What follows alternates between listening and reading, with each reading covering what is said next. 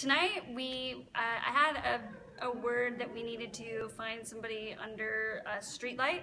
So we walked out of the parking structure downtown and um, saw a couple girls coming toward us and I just felt like I saw the impression of a heart. So I asked them, "Hey, do either of you need like healing in your heart?" Like or emotionally or whatever it is, trying to put in a qualifier and they're like, "No, we're good." I'm like, anything in your body, anything at all, any pain. Uh, oh, were you like hearing our conversation? Like, no, I wasn't. So is there anything in your body I can pray for? And um, and one guy was like, well, you could pray for me.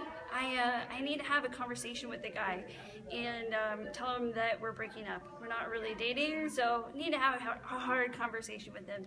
So I just felt like wisdom, peace, um, and protection around her. So I just prayed all these things out, and it just was Holy Spirit talking through me. Like it just kind of comes, it floods, floods through, um, and uh, hedge of protection, and um, that she would not be beating herself up tonight as she sleeps um, with anything that she says um, to, to this guy tonight. So um, yeah, asked her if she knew Jesus, and she said she did. She goes to church, so got to minister to a to a sister in Christ tonight.